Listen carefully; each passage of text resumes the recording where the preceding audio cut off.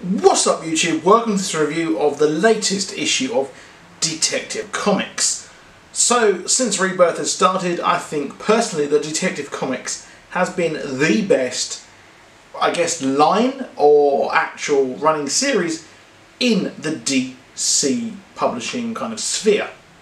So, we've had a really, really cool storyline with Batman and Batwoman kind of making their own Bat Family army. So the Bat Family has long been a very, very interesting and intriguing and popular part of the Batman story. But now we actually have got the Bat army together fighting off Cassandra's father, which was, I thought, a bit of a weak twist. It felt a bit of like, a, oh, we really want her to fight her dad, but how do we do it? Oh yeah, he's making like a secret Batman rip-off Army 2. Hmm.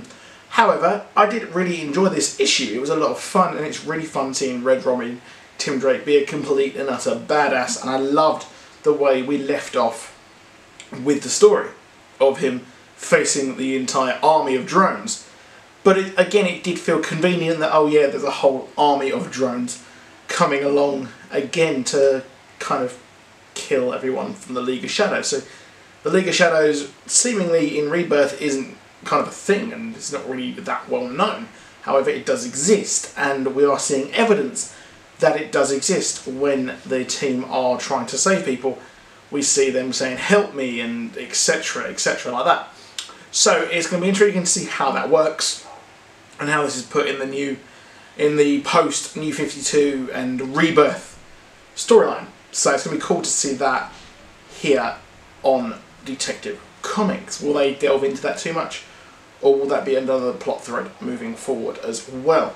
I really do like Tim Drake's kind of enemy, the Bat fanatic, who, if it was a Pokemon game, he'd be like the Bat fan, eh, he'd wear all Batman stuff and then battle you using Batman, which was a bit of a reach for that joke. However, I did really enjoy this storyline and having Clayface be the good guy and have his bracelet where it turns him into a human looking person and also having him do the actual auditions etc was a lot of fun. We've seen that as well. Now this was a short, it felt like a short issue just because it was reeling with what's happened before and they're setting up what's going to happen in the future but I really did enjoy this issue and the art is fantastic and I'm really liking the covers of these issues. The covers are really badass, especially the variants.